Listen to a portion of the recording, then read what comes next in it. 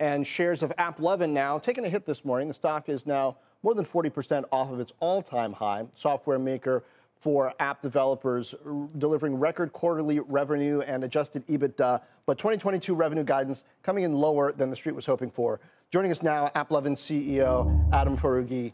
Adam, good to see you. Um, first, I want to talk about these Google and Apple uh, identifier and, and, sort of uh, data privacy changes because uh, I'm not sure investors understand AppLovin's structure. I, I want your uh, perspective on it. You actually have first party data as part of your structure.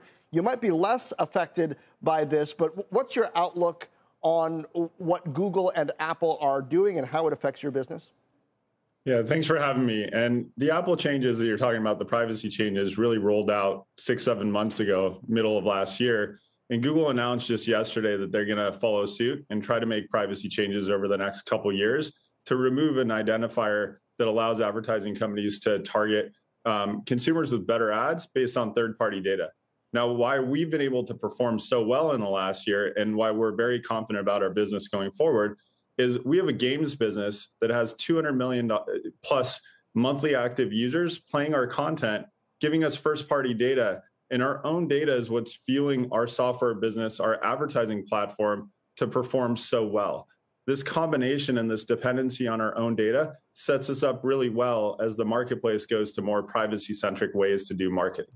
Yeah, that was my take. I was a bit surprised to see uh, your stock specifically dipping, it seemed, on the Google privacy news, but then, you know, valuations are what they are. So who knows why these things are moving. Now, you get to the issue of you have this games apps business and also the broader software platform. It's the apps business, right, where growth was disappointing. So, uh, what is your outlook for how you expect those things to balance out? It certainly seems like the software platform business is the future. Yeah, let's talk about that and then the reaction to our earnings. We had a $3.7 billion revenue guidance versus 3.8 billion consensus, which on headline looks like a miss, and the stock got hit. But let's go a level deeper. The gaming business, which trades at three times revenue because the revenue's less margin than the software business, we guided down 400 million because the gaming business is a large, mature business, and we get the data that we need at the scale we're at. Now, the software business is ripping. It grew a ton last year, and we guided up 300 million. So guiding a 20 times revenue multiple business plus 300 million should have really added 4.8 billion dollars of market cap or 20% up. But people didn't look deeper to realize our software business, which is the core part of our business, the way we generate cash, is what's growing at, at crazy rates. We're projecting over 100% growth this year to it. And once you really realize that, you realize this is a great buying opportunity in the stock.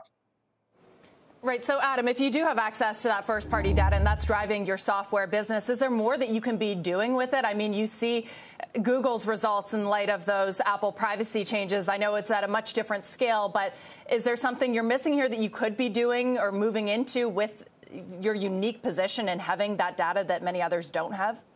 Well, let's talk about what we're doing. The software business in 2020 did 200 million.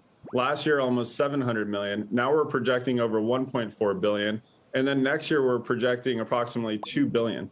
So, so that's 10x growth in three years to a software business that's exceptionally high margin. I think we're doing pretty well with the business right now.